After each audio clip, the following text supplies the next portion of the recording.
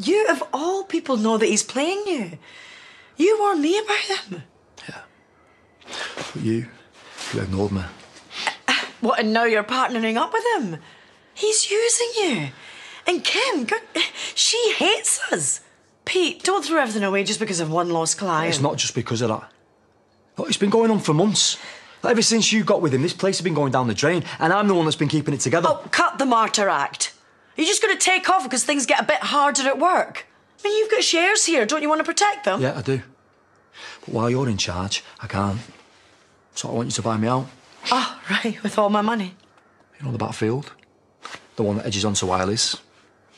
I'll take that. Call it square. Oh, would you know? Wow, you've really thought about this. It's a fair deal, Moira. They are dangerous. And they will spit you out. How can you trust them? I don't. But I trusted you. And look where we are. That's nice.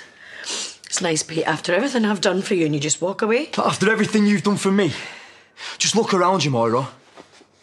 Where's all the family I arrived with, eh? I thought you understood it. It wasn't all my fault. You weren't blameless. And now you've lost all your family too. And you are completely to blame for that. Know when Dad went to pieces? When Ross went AWOL? I wasted years trying to keep our place together. And where did that get me? Here, when I took you all in, I was there when you needed me. Yeah, and now you're losing it worse than Dad ever did. I'm not going to waste my energy on another place that hasn't got a chance. But This place has every chance. While you're in charge.